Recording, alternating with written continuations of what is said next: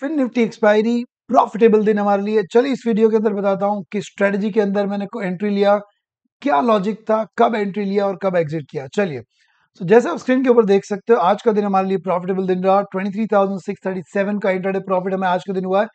सिर्फ़ एक ही ट्रेड लिया था and let me show you which trade I took and how I took the trade so पहला trade मेरा बना 1028 को। अब एक बात को समझो अगर आप मेरी ऑर्डर बुक को नोटिस कर रहे हो इट इज़ नॉट नेसेसरी कि आप 915 का ऑर्डर ले लो, आप 920 का ऑर्डर ले लो 925 का ऑर्डर ले लो 930 का it is not like that wait for your level wait for your strategy setup and money will come अगर आप मेरी बात से अग्री करते हो तो please type agree in the comment box so 1028 को, या तो 1028 इन 57 सेकंड्स ऑलमोस्ट 1029 को, मैंने 23 350 का पुट बाय किया। जो मेरा एजिंग लेक था सेफ्टी लेक था प्रोटेक्शन लेक था आ, और मेरा जो ओरिजिनल लेक था वो था 23,400 के पुट को सेल करना। सो so, हमने वहाँ पे एक पुट बाय किया जो एजिंग लेक था और पुट सेल किया जो ओरिजिनल लेक था। मतलब हमारा इफेक्टिवली वहाँ पे व्यू बना वो बुलिश व्यू बना। ना take it the fin Nifty chart and I show कि 1029 को मैंने क्यों बुलिश व्यू बनाया। सो हियर वी गो देखिए दोस्तों I just clear the chart so that I'll, I'll clear this indicator so that you guys can understand. Now see this. आज फिर Nifty यहाँ पे ओपन होता है। पहली कैंडल दिन की पहली कैंडल बनती है ना दैट्स अ डोजी कैंडल दिन की पहली कैंडल डोजी कैंडल बनती है। मगर जब वो नीचे की तरफ़ जा रहा था तब येस्टरडे लो का इसने सपोर्ट लिया।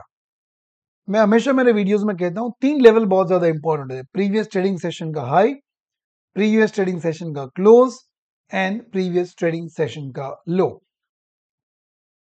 सो so, दूसरी कैंडल बैरिश बनती है तीसरी कैंडल बैरिश बनती है मगर फिर से वही चीज़ हो रही है कि प्रीवियस ट्रेडिंग सेशन के लो का सपोर्ट लेके क्लोज ऊपर की तरफ़ आता है।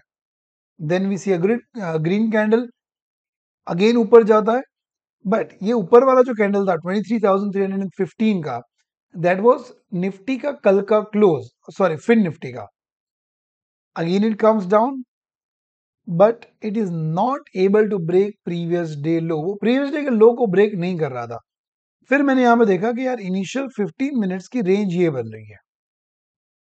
और ये 1025 टू 1030 वाली कैंडल ने जैसे इस रेंज को ब्रेकआउट करना शुरू किया I took the bullish trade फिर ऊपर ऊपर ऊपर जाता गया there was huge huge huge move and जैसे यहाँ पे ये रेड कैंडल बनी, यहाँ पे सो so, तब जाके मैंने 1152 को ही एग्जिट कर लिया था।